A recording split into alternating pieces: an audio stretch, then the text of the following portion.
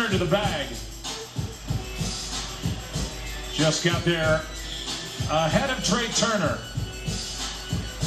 And it's 8 to 1 through 7 in game four.